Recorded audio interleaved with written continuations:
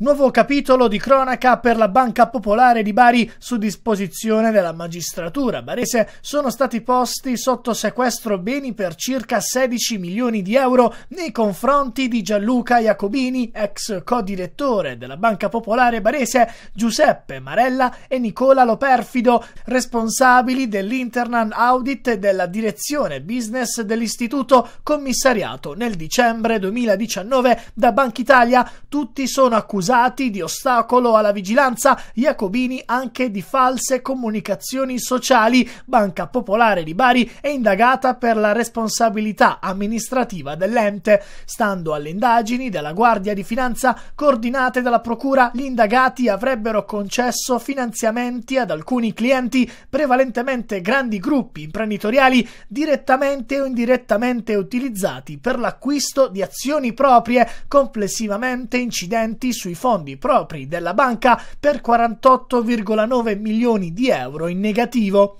Tutto sarebbe stato nascosto a Banca Italia comunicando per il quarto trimestre 2015 un ammontare dei fondi della Popolare di Bari non corrispondenti al vero e sovrastimato con l'obiettivo di far figurare un aumento patrimoniale. Per nascondere queste operazioni denominate baciate, i vertici indagati dell'istituto avrebbero assunto comportamenti ostruzionistici occultando agli ispettori di Banca Italia fascicoli di clienti e sottraendo informazioni utili alle verifiche.